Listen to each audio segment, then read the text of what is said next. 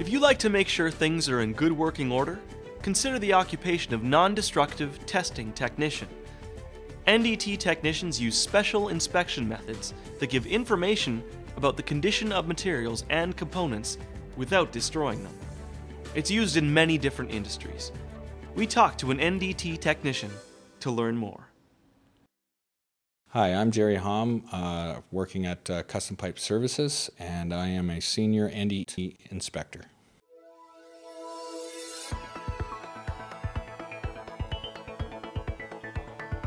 Presently, I'm at a client's location, and I'm here to inspect the welds on these pressure vessels that my clients have made.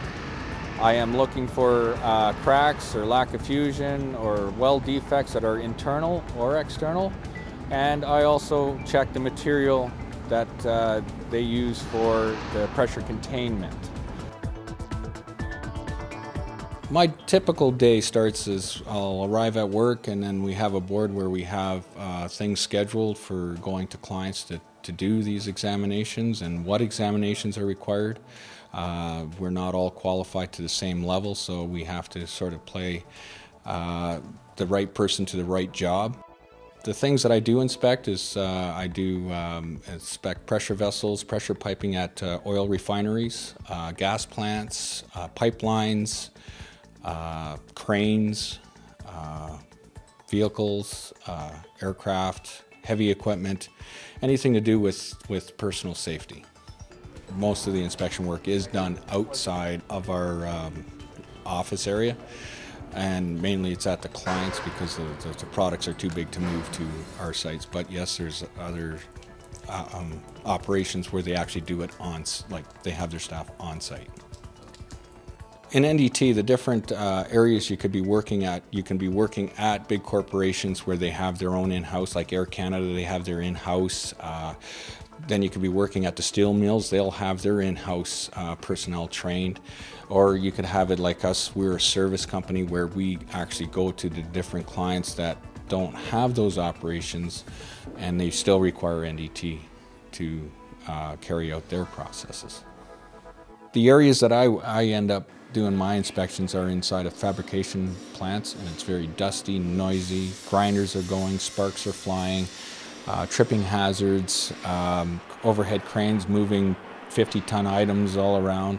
So you're sort of keep your wits about you to keep yourself safe. Of course, safety is of uh, prime concern, and uh, personal protective equipment that we use varies according to the conditions of the job.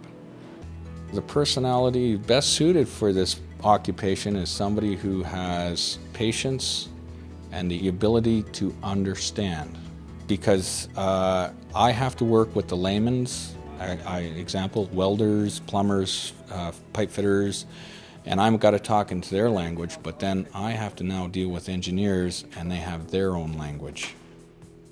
Individuals that we're looking for when we're seeking to bring people into our industry are people that are very conscientious, very dedicated to their work, and have the ability, ability to communicate with the client and convey the results of what we found in the material that we've inspected. You can go to college, like the NAIT or SAIT, to take the uh, material engineering course that they have, that's where it is.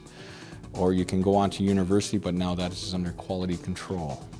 The schooling requirements, you can either take it all at once, right, or you can take it where you're employed and then you can go to school like a, a one week 40 hour course, depending on the discipline that you are looking at. You start at the bottom, you start out like there as a helper, and then you would, as you get your training and qualifications, you, you work your way up to become a senior technician. The satisfying aspect is dealing with the clients and resolving issues that uh, may, may or may not be there and uh, ensuring that the, the product is a quality product that's going out their door and that I feel good about it. My typical work week is about 40 hours a week, 8 hours a day. Um, there is the odd time that I actually work weekends and uh, or actually overtime at night. Um, in my off time, my interests are like cycling and uh, U-controlled aircraft and also just being with the family. U-controlled aircraft is actually you control the aircraft. You just fly in a little circle and it just goes around you and you go up and down and do all your little stunting. and that's what you control. I'm happy about my career choices because it is challenging and other, uh, that I have to learn every day. There's not one day that I don't learn something new. Uh, and I believe that it's a, a, good choice because that's what I like to do, and also to ensure my safety, my family's safety, and also the people around me, their safety. I'm not here to change the world, I'm here to make what I have around me safe. Becoming an NDT technician typically requires a combination of training and work experience, and a certification exam. If the occupation of NDT technician interests you, there's more information available, including educational requirements and salary ranges in the occupational profiles on ALIS. You may also be interested in the related occupations of mechanical engineering technologist or welder. Learn more on the ALIS website and make the most of your future. Visit us at alis.alberta.ca.